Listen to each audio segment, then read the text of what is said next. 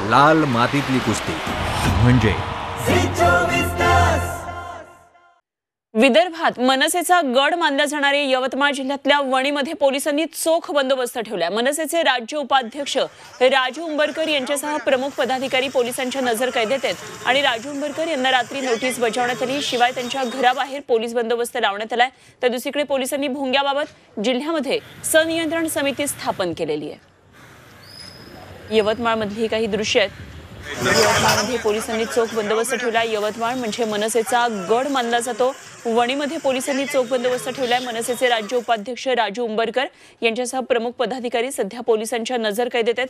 कुठल्याही प्रकारचे सामाजिक परिस्थिती कायदा सुव्यवस्था बिघडू नये यासाठी पोलीस सध्या सतर्क आहेत. राजू उंबरकर यांना रात्री नोटीस बजावण्यात आलेली आहे आणि त्यांच्या घराबाहेर पोलीस बंदोबस्त ठेवण्यात आला तर दुसरीकडे पोलिसांनी भोंग्यांबाबत जिल्ह्यामध्ये संनियंत्रण समिती स्थापन केलेली आहे.